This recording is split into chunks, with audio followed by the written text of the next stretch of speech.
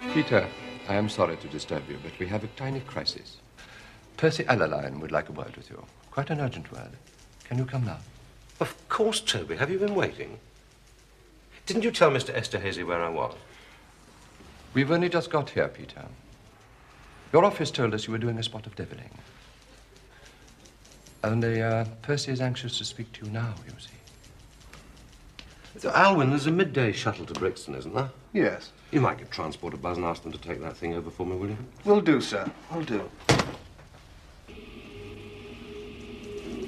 Percy wants to consult you.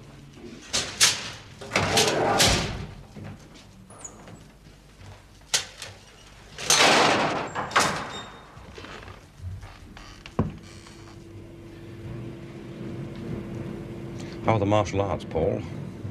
Any new tricks you could show me? Paul and I were paired on a tough guy course a little while back. Damn near killed each other.